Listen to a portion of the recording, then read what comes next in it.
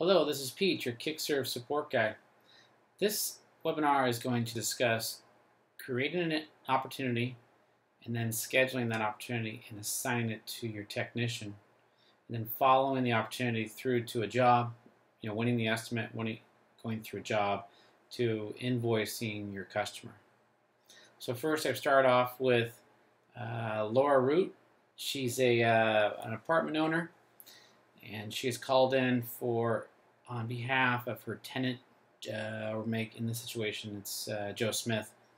But here's her contact information, uh, her special instructions, and we're going to create an estimate. She wants us to go out and give her an estimate on a uh, drain backup. So we're going to click on opportunity here, and then the green button and create the opportunity.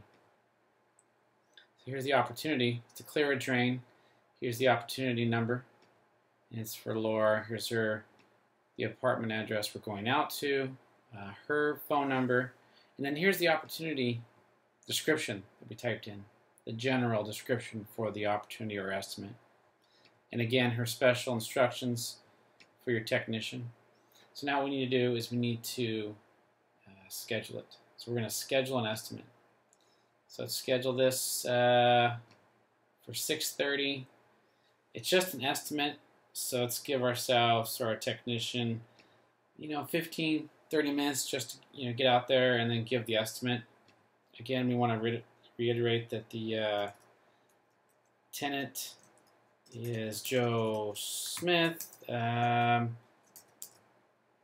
do not discuss the charges and payment with uh, tenant.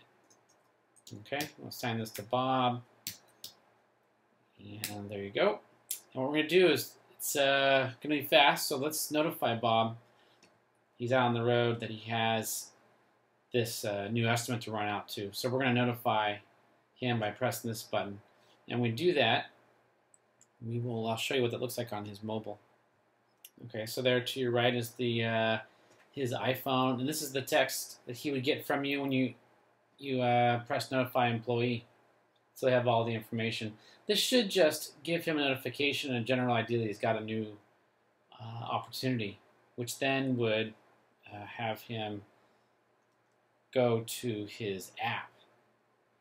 refresh it.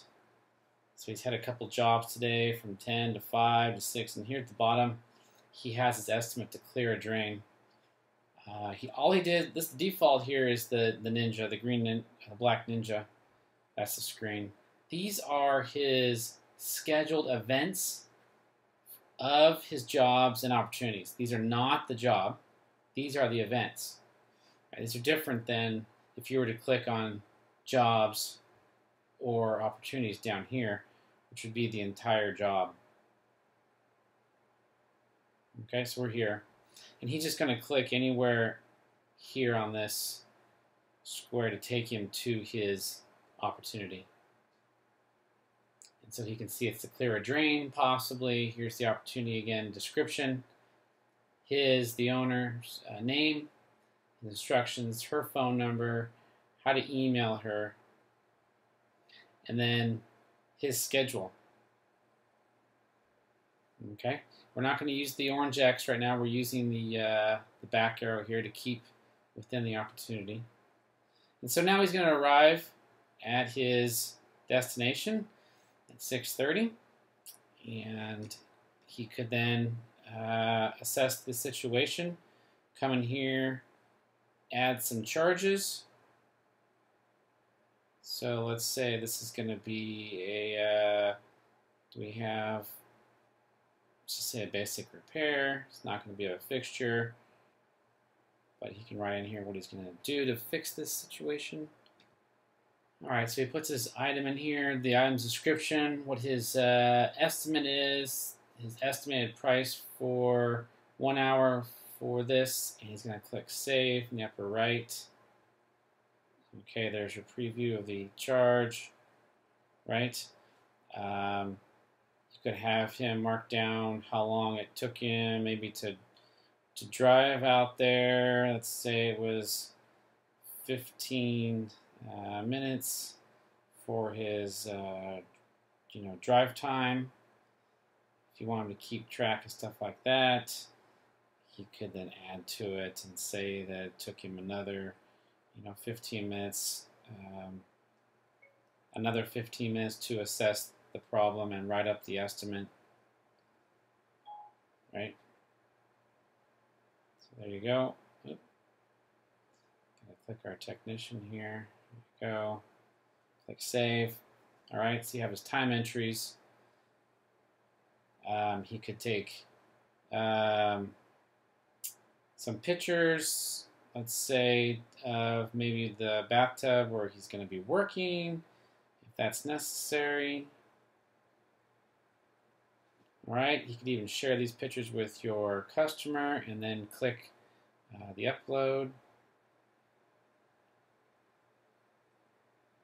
All right, we've marked it shared, so when we send the estimate from the web, uh, your customer will see the picture, right? So now uh, your technician can discuss these charges over the phone, in this case with Laura, because she's probably not there, or we could have, uh, you can email her by clicking the envelope.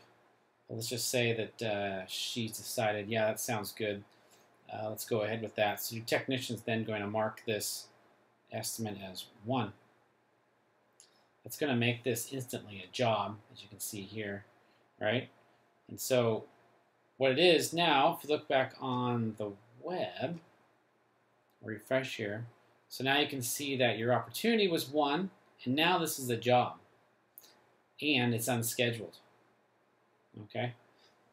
So you could have your, your technician do with his schedule over here is he needs to take his estimate and say, okay, he's completed that estimate part of it, and click the green. I slid that to the right, clicking the green, got the check mark now, it's faded. So now he goes, now he can click the X if he wants to, comes back here, does a refresh, right? He can see that the estimate that he just did is grayed out as check mark. So now what he needs to do now he has his job.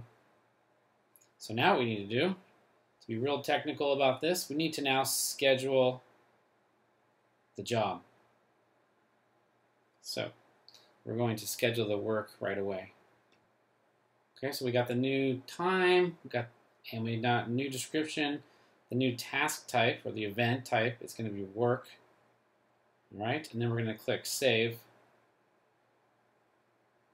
All right, so now he has this new uh, work to do. And so if we're to clear, if we refresh the web page here, you'll see, see now it's scheduled. He also has completed his estimate.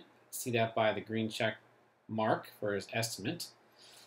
It took him 15 minutes, and now he has this new job to do. All right, so before your technician gets started, he probably should come back to the job in the mobile app and click Start Job here. And that's going to change your web page as well to in progress. And he started the job. Now he's doing the job. When he does the job, uh, once he's done with the job, he could again add more charges if he wants. He can add uh, more of his time to here to show that the work he did. Okay, so there's my notes for my new time entry. And I could add this to the as a billable charge if you wanted to. But we've already added the, gave him the estimate. We're going with that. We're still within the hour, so we won't add that to the bill. We're just going to hit save. And to make sure we have a technician here. There we go. Clicking save. Okay, so there's a screenshot of our all the hours.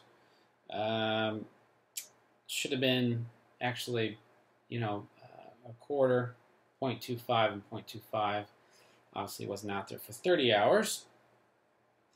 Anyway, so there we go. And then what he wants to do is click Stop the Job.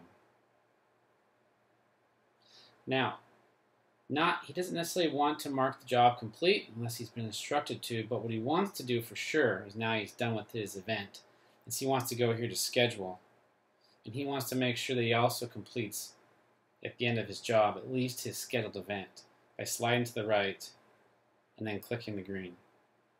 And now both his estimate, schedule event, and his work are both done. We come here and we can refresh our web page. You'll see now that uh, job is still scheduled, it's still active, but his two events are both green check marked and have this thin gray line through them, which indicates they are marked complete. Plus, you can see the time and date that he marked them complete. So I want to point out down here under our job history, you can see all this action unfold as well. So you can see that he started the job, date and time, he updated the event, and then he stopped the job. You can see that too. See, you can see his uh, pictures that he uploaded, and you can see all of his notes. We haven't collected payment or anything. This is a tenant situation, so we haven't generated an invoice either from here. What your technician can do from the mobile app is he or she can then generate the invoice and collect a signature. So we click that, changes to view invoice. We could view the invoice. We could get the tenant, if you wanted to, to collect a signature while you're out there. And so Joe could do that for you. Saying that he saw that everything was draining. Click save.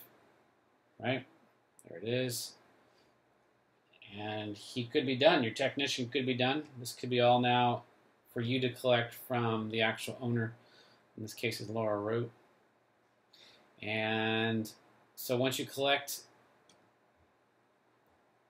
the invoice, or I'm sorry, the payment from her, you're going to have to physically mark this paid. It's not automated.